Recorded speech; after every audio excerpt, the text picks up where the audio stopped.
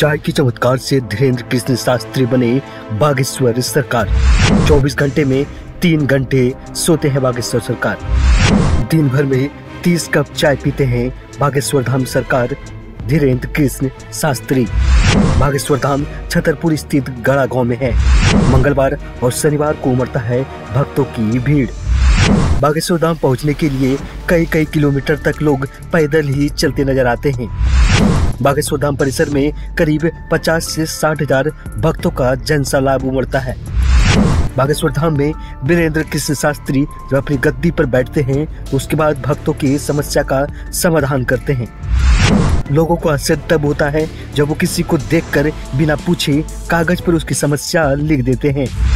बागेश्वर धाम में अपनी समस्याओं को लेकर के सिर्फ़ गरीबी नहीं, बल्कि देश के बड़े बड़े नेता भी बागेश्वर सरकार से आशीर्वाद लेने के लिए पहुँचते हैं। धीरेन्द्र कृष्ण शास्त्री अपने दादा को हुई गुरु मानते हैं। उन्हीं से ही उन्होंने राम कथा भी सीखी। कहा जाता है कि उनके दादा भी मंगलवार और शनिवार को दिव्य दरबार लगाते थे। वो भी लोगों की मन की बात जान लेते थे।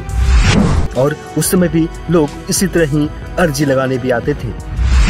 आपको बता दें कि 14 जून 2022 को धीरेन्द्र कृष्ण शास्त्री, यानी कि बागेश्वर सरकार को लंदन की संसद में तीन अवार्ड भी दिए गए थे। Sant Shiromani award world book of London और वर्ल्ड बुक ऑफ़ यूरोप से भी सम्मानित किया गया है। एक साक्षात्कार के दौरान धीरेन्द्र शास्त्री ने बताया कि मेरा एक लक्ष्य है, जो मुझे सोने नहीं देता है।